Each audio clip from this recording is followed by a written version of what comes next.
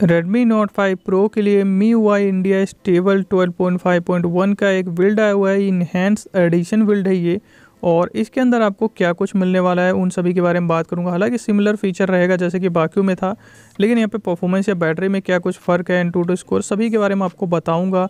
और जो थोड़े बहुत चेंजेस हैं या बग फिक्स किए गए हैं तो उनके बारे में भी बताने वाला तो वीडियो को लास्ट तक ज़रूर वॉच करिएगा। एंड्रॉयड 11 पोर्ट रोम है और रेडमी के नोट 8 से पोर्ट किया गया है। चलिए वीडियो हम स्टार्ट कर लेते हैं।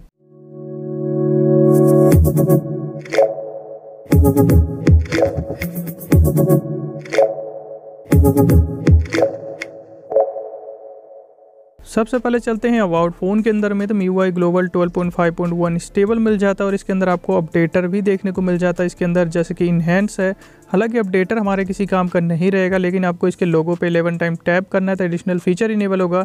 उसके बाद थ्री डॉट पे रिबूट टू रिकवरी आपको मिल जाएगा, क्योंकि यहाँ पे आपको पावर मेन्यू पे कोई भी एक्सटेंड पावर मेन्यू नहीं मिलता है तो नॉर्मल ही देखने को मिलेगा। वहीं वॉल्यूम पैनल भी आपका बिल्कुल लेटेस्ट यहाँ पे मिल जाता है। तो यहाँ पे ये सारी चीज़ें मिलने वाली वहीं बाहर देखोगे तो एंड्रॉइड वर्जन 11 है और सिक्योरिटी पैच भी बिल्कुल लेटेस्ट जनवरी 2022 की देखने को मिल जाती है। और ऑल स्पेक्स के अंदर आपको चल के दिखा दो तो ये ओवर क्लॉकड आता है और कर्नल इसके अंदर डीगल का वर्जन 16 है और ये ओल्ड कैम कर्नल है। तो अगर आप कर्नल चेंज करते हो तो ओल्ड कैम ही फ्लस करना ओल्ड कैम है। और ऐप बोल्ट आपको ग्लोबल वाला पूरा मिलेगा क्योंकि ग्लोबल से पोर्ट किया गया है और इसका जो कंट्रोल सेंटर है, काफ़ी स्मूथ मिलता है। यहाँ पे कोई भी एनिमेशन लैग देखने को नहीं मिलता है, लेकिन इसके अंदर आपको सोमी पार्ट्स ऐड किया गया तो ये देखने को ज़रूर मिल जाएगा। एपेस इन्फो है और यहाँ पे अगर आप सोमी पार्ट्स में जाते हो तो इसके अंदर जो एम आई साउंड एंसर दिया गया है, ये बिल्कुल अच्छे से काम कर रहा है। हालाँकि सारी चीज़ें सिमिलर है और इसका जो इसका जो सेलिनेक्स है, वो भी परमिशिव आपको मिल जाएगा।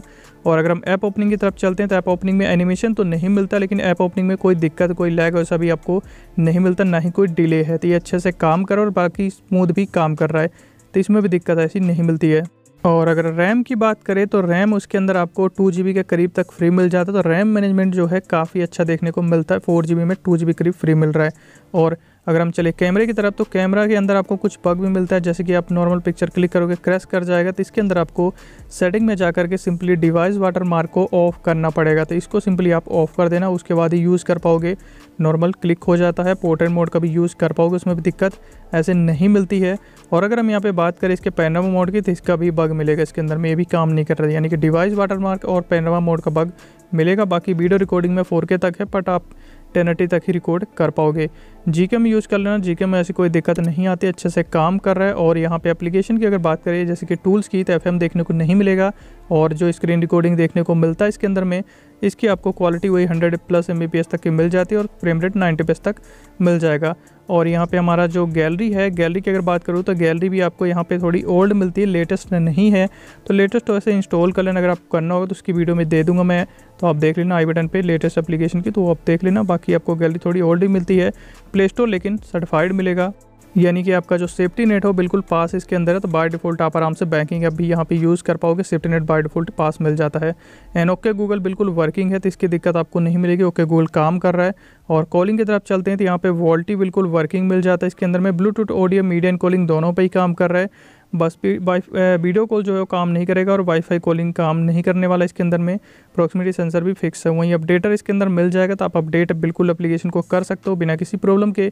कोई दिक्कत नहीं आता। लेकिन अगर आप कनेक्शन एंड शेयरिंग की अगर बात करें इसके अंदर कास्ट की तो कास्ट का बग रहेगा वो काम नहीं करता always on display and lockscreen के अंदर ऑलवेज ऑन का यूज़ कर पाओगे, लेकिन कोई थर्ड पार्टी डाउनलोड नहीं कर सकते क्योंकि ये ग्लोबल वेस्ट रोम है तो इसके अंदर आपको कोई थर्ड पार्टी का नहीं मिलता।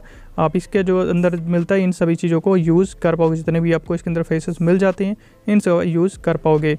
और टैप टू बैक भी काम कर रहा है चार्जिंग एनिमेशन एक डिफ़ॉल्ट मिल जाता है। डिस्प्ले के अंदर रीडिंग मोड, कलर स्कीम दोनों काम कर रहे हैं यहाँ पे भी कोई दिक्कत नहीं है। एंड साउंड एंड वाइब्रेशन के अंदर भी आपका यहाँ पे साउंड इफ़ेक्ट का बग फ़िलहाल तो रहेगा, इसका बग रहने वाला है, बाकी सारी चीज़ें काम कर रही है।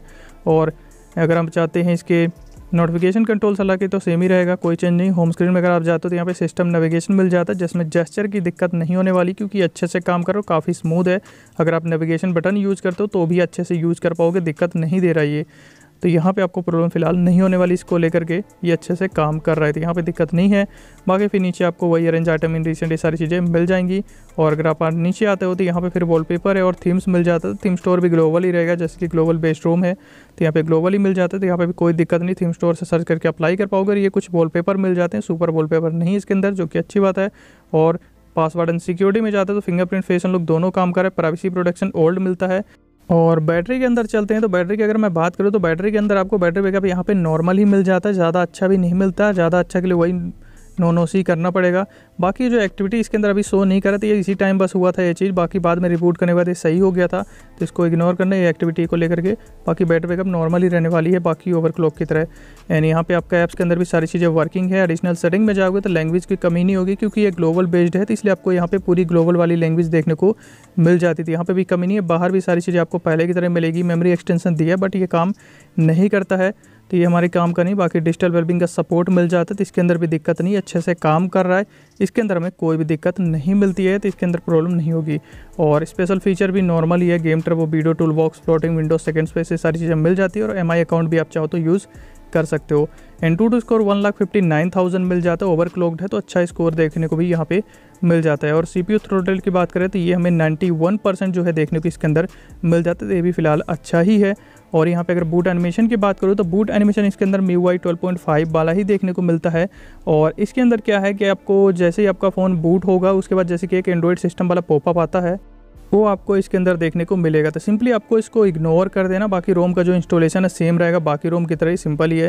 लेकिन ये पॉपअप को आप सिंपली इग्नोर कर देना ओके कर देना है। एंड गेम टर्बो ओल्ड रहेगा, बस इसका वॉइस चेंजर जो दिया गया है, ये काम नहीं करेगा। लेकिन लेटेस्ट आपको गेम टर्बो करना है तो उसकी वीडियो आई बटन मिल जाएगी, लेकिन फिर भी आपका वॉइस चेंजर काम नहीं करेगा।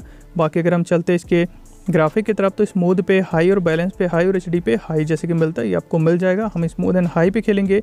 और परफॉर्मेंस को लेकर के बात करूँ तो फ़िलहाल मुझे परफॉर्मेंस के मामले में कोई भी दिक्कत नहीं हुआ है। मी वाई पे ओवरक्लॉक्ड वाले पे अभी फ़िलहाल लेटेस्ट जो एंड्रॉइड 11 के आ रहे हैं, हालाँकि ग्लोबल वाले में ज़्यादा बेटर ही वैसे आपको यूआई भी अच्छी मिल जाती है, जैसे कि ग्लोबल बेस्ड ही है तो इसके अंदर यूआई और फास्ट ऐप ओपनिंग मिल जाता है दिक्कत नहीं है, और गेमिंग भी अच्छी मिल जाती बस एफ़ आपको अनलॉक करना है तो सिंपली आप अनलॉक कर लेना, नाइनटी एफ़ वाला तो एक्सट्रीम तक आराम से खेल पाओगे, दिक्कत आपको नहीं होगी, और थोड़ा सा बेटर एफ़ मिलेगा तो और भी अच्छी परफॉर्मेंस के साथ आप आराम से खेल पाओगे, ऐसे भी आपको काफ़ी अच्छी परफॉर्मेंस मिलती है तो गेमिंग में फ़िलहाल दिक्कत नहीं होगा, ना ही यूआई को लेकर के, बस यहाँ पे इसके ऐप ओपनिंग एनिमेशन वो आपको देखने को नहीं मिलेंगे। बाकी जो भी था कंप्लीट आपको बता दिया। इंस्टॉलेशन भी सेम ही रहेगा तो और कोई दिक्कत नहीं होने वाली। तो आपको अगर यूज़ करना है तो इसे यूज़ कर सकते हो। गोल गोल ग्लोबल वेस्ट रोम अगर आपको यूज़ करना काफ़ी लोग चाहते हैं इस तरह की रोम तो आप यहाँ पे ज़रूर यूज़ कर पाओगे। थीम्स के अंदर भी थीम अप्लाई करने पे कोई दिक्कत नहीं होता, सर्च करके आप अप्लाई कर सकते हो यहाँ पे। तो बस यही था इसकी वीडियो के अंदर में, और कोई क्वेश्चन कुछ हो तो आप आराम से पूछ लेना कमेंट में, या फिर टेलीग्राम का भी लिंक मिल जाएगा डिस्क्रिप्शन पर ही। और अगर आपको वीडियो अच्छी लगी तो वीडियो को लाइक कर दीजिएगा, चैनल को सब्सक्राइब कर लीजिए और बेलाइकन को प्रेस करके ऑल पे कर लीजिए, ताकि अगली वीडियो की नोटिफिकेशन आप सभी को मिल जाए। Thanks for watching.